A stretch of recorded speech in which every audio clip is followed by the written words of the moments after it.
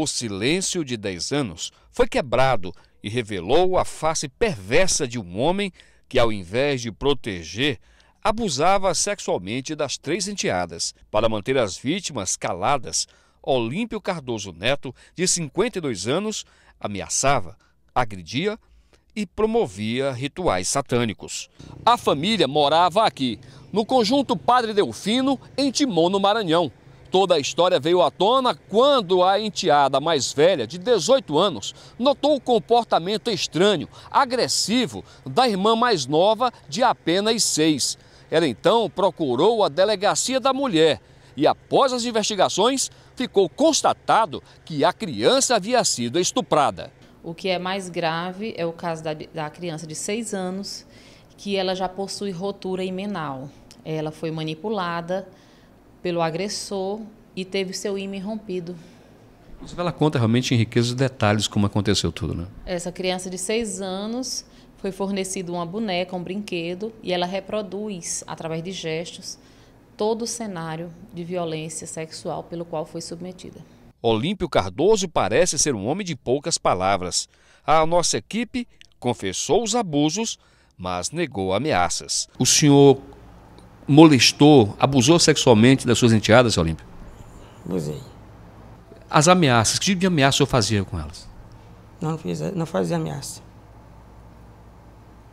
Então, como, como é que acontecia isso tudo? Eu não sei, eu não sei explicar. Não sei o que passava por, na minha cabeça, não sei. O senhor agora está arrependido? Muito. Quer dizer, agora que o senhor está preso, o senhor se arrepende? Muito. Não é porque eu esteja preso agora, é que eu tô, é, já estou arrependido já. Eu espero que elas se recuperem e comigo não sei o que vai ser da minha vida. A coação, no caso, para eles, é aquela ameaça. Ele ameaçava de deixar de prover alimentos, ameaçava de morte a mãe, indiretamente. Para uma criança de 8 anos, isso já é suficiente para tentar imobilizá-la. A menina mais velha, ela relata que chegou muitas vezes a apanhar, a, a apanhar com palmatória, nas mãos e em várias partes do corpo. A adolescente de 16 anos chegou a ir embora para São Paulo para tentar escapar da violência. Os abusos aconteciam sempre na madrugada, depois que a mãe das meninas era dopada.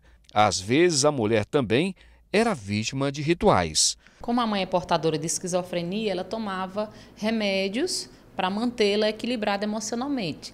E na ausência desses remédios, ela, ela tinha surtos psicóticos. E esses surtos ele acreditava que eram maus espíritos. E aí, através de violência física, ele tentava é, submetê-la a sessões de tortura e rituais satânicos. Olímpio Cardoso agora está preso. A família foi levada para um local onde também recebe tratamento psicológico para tentar deixar para trás o passado de dor e violência.